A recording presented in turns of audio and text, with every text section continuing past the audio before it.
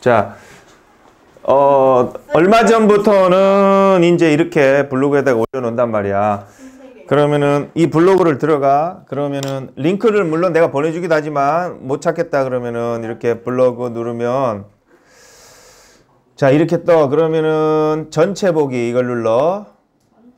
어, 그러면 이렇게 전체가 떠.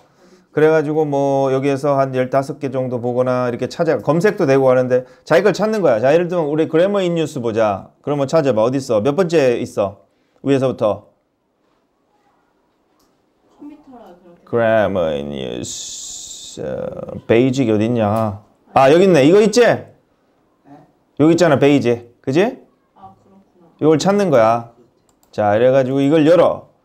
어떻게 자, 이걸 열면 어, 이렇게 나와.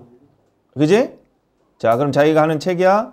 자, 이렇게 나온다고. 그럼 가장 최근에는 79-2가 올라왔으니까 이게 맨 마지막이다 생각하면 돼. 그리고 중간에 이렇게 보면은 쭉 있지? 그리고 맨 밑에는 어디까지 있어? 아까 75-2라고 그랬나? 1이라고 그랬나? 1. 2라고 그랬어? 1이라고 그랬어? 1. 그럼 맞지? 제대로 찾은 거야, 제주는. 그치? 이렇게 찾으면 돼. 그리고 막 중간이나 뒤나 이런 것들도 막 끼워 넣는다고 내가 시간 날 때마다. 원래 다 했잖아. 그런데 그거를 다 넣으려니 시간이 너무 오래, 걸려서 내가 안 하는 것 뿐이야.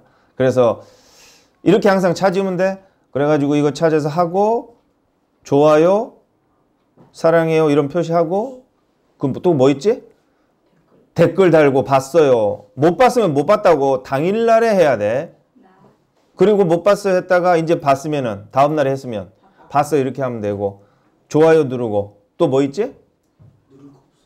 뭐 하여튼 나한테 좋은 거나 구독과 좋아요 그런 거는 어 기본이고 그지? 그렇게 해주면 되는 거야 안 해가지고 숙제 못 해오지 말고 그지?